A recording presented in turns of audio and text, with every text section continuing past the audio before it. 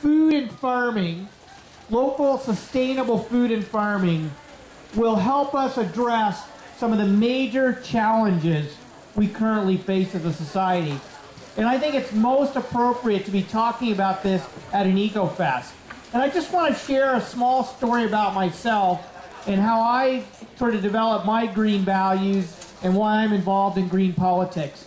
I grew up on a conventional grain and livestock farm, and I think anyone who works with the soil, who works with nature, whose livelihood is literally dependent on the weather, healthy soil, clean water, and a connection to nature understands that a healthy environment is essential to a healthy economy.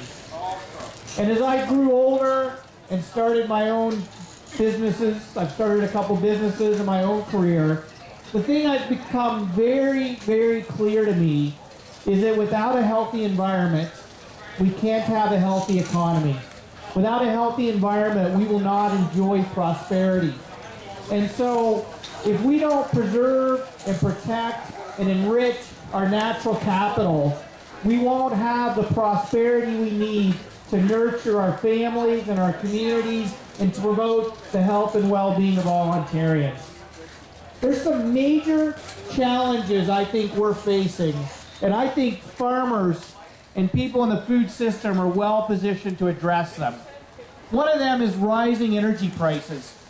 I think we're all feeling it at the gas pumps and our electricity bills and our home heating bills, etc. But one of the things people don't realize is, is that the price of food and the availability of food is intimately linked to the price of energy. Because our food systems depend on energy to get food to you. And if we don't have a healthy, vibrant, prosperous, profitable local food system and farmers right in our own backyard to supply us with food, as energy prices get higher and higher, it's going to start threatening our food security in Canada. A lot of people don't realize this, but if the border shut down today, most major cities in Ontario only have three days worth of food supply. Because we're so dependent on a globalized food system. Our average meal travels anywhere between 2,500 and 4,000 kilometers to reach your dinner plate. And we believe that needs to change. And we believe it needs to change by supporting our local farmers and supporting access to healthy local food. Another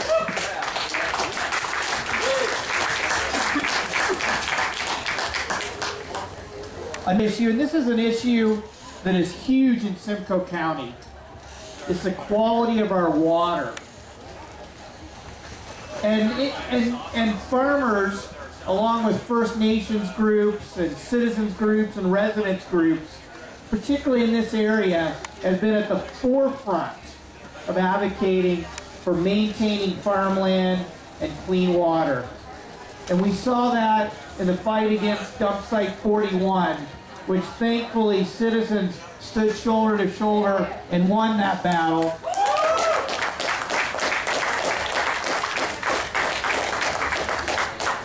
And I want to bring this up because we're fighting that right now in Melancthon Township, not far from here in Dufferin County, where there is a proposal to build the largest quarry in Canadian history.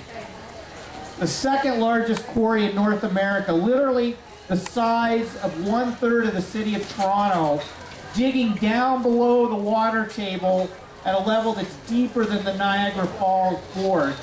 And it's going to be threatening five major water systems and some of the best farmland in Ontario. And again, we need farmers and First Nations and citizens to stand up and say, our food and our water is more important than an aggregate mine. And so I would ask you all, thank you. And so the question I ask is, who's going to grow our food in the future if young people don't see a viable future in farming? Our healthcare system currently represents 46% of the provincial budget. And if things don't change, it's going to grow to 80% of the provincial budget. And the Green Party believes that investing in preventing illness and promoting health in the first place is the best way to ensure the sustainability of our healthcare system. And I would argue that access to healthy local food is essential to that. Yet, Great.